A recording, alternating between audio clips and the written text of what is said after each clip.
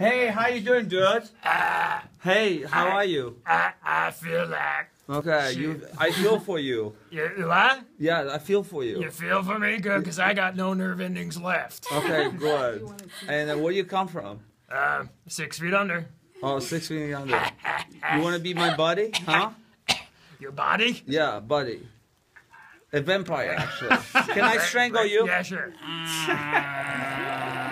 You like that, don't you?